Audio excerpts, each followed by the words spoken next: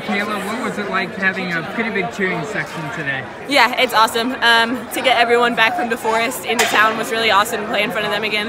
Um, it's been three and a half years, so really awesome to play in my home state and awesome to play in front of everybody. What was it like playing in front of your home crowd today? A little bit of nerve wracking, honestly. Uh, the last time they've seen me play was three and a half years ago, so I've obviously made a lot of growth from from that time. Um, so a little bit of a bittersweet feeling, but I was happy to do it.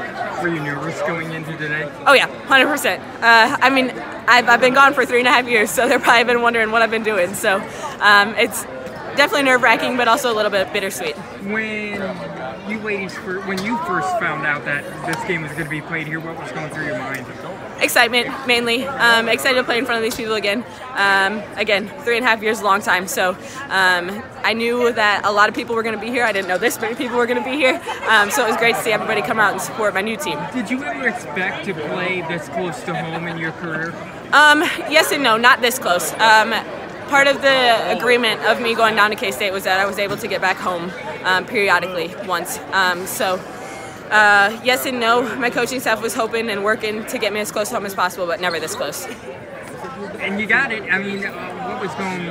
I mean, what were you thinking about leading up to maybe this week and, and, knowing that this game was coming? Yeah, I mean, it's also a big game for us. Um, number 17 team in the country. They're obviously a great team, very efficient. Um, so it was also a business trip for us. So the majority of this week was all preparation and work uh, leading up to try to win this game. So I uh, wasn't really thinking about playing in front of my home crowd a whole lot this week, but more preparation. Yeah, this is your third third ranked team your team has played this year. What kind of preparation those two previous games played into today? Yeah, I mean, it obviously helps having some experience uh, going against some ranked teams, um, but every ranked team is different. Um, we've played three very, very different ranked teams, so um, preparation is kind of similar for all teams. Um, so kind of trying to stick to that, and we had a whole week, so that was helpful. Um, just wish we would have came out with the W. What kinds of things did Arizona State throw with you ladies today that maybe you weren't expecting? Yeah, I mean they found some openings against our zone that we didn't really anticipate, and they also played really hard pressure on the ball screen, which I also wasn't anticipating. Um, they're obviously a ranked team for a reason, so they're going to find ways to beat us throughout the game and adapt and um, just improvised throughout the game to beat us. So not, not, counting the result today, obviously, but is this one of the more memorable weeks that you've had? Big 12 Player of the Week this week. You get to come home, play in front of your home crowd.